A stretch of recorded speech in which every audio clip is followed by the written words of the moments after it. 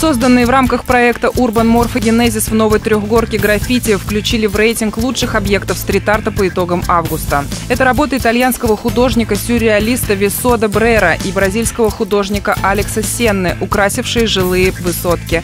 Рейтинг подготовил нидерландский проект Street Art Today.